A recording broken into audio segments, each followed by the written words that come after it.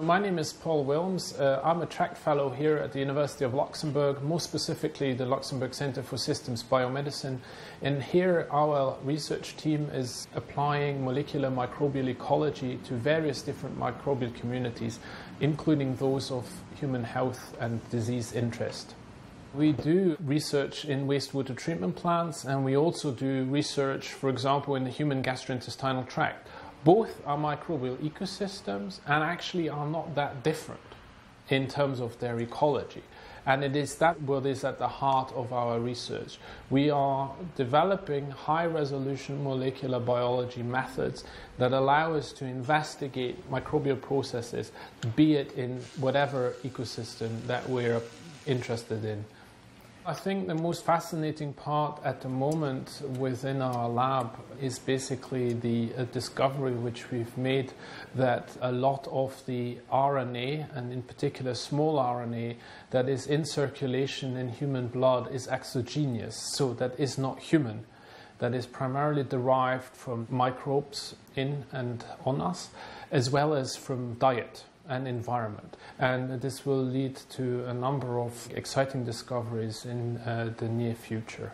As a Luxembourger, and of course as a Luxembourgish scientist, I am very, very happy that these initiatives have been now launched here in Luxembourg. I think it is really fundamentally going to change Luxembourg society and also its economy. So I am really, really proud actually that Luxembourg has made this commitment to science. My name is Karsten Hiller, and I'm an FNR Attract Fellow. And in my group, we are researching cellular metabolism.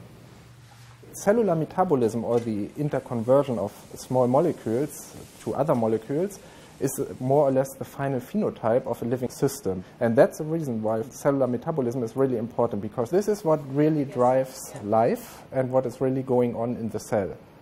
Metabolism can be measured at least on two levels. One level is metabolite amounts, which is measured in metabolomics. But in our lab, we in addition also analyze metabolic fluxes or the interconversion rate. So the how many molecules are converted from one compound to the other. And this is dynamic information, and this is in analogy to uh, flowing traffic.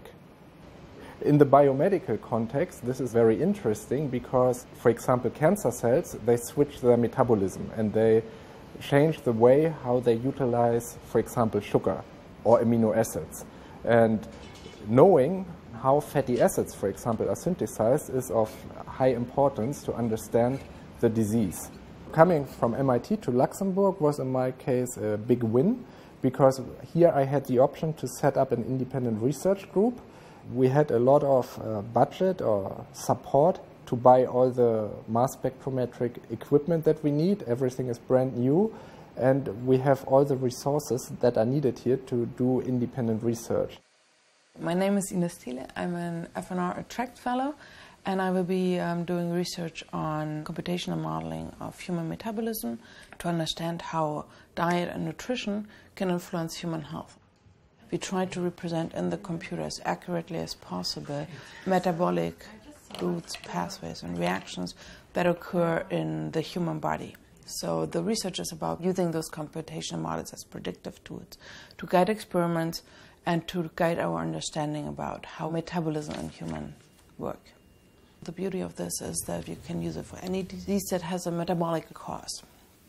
So one can try to understand cancer with that, at least the metabolic features and phenotypes of cancer. One can, um, of course, study inborn errors of metabolism that are inherited diseases they are slightly simpler to study as they are single gene caused than cancer or obesity or metabolic syndrome.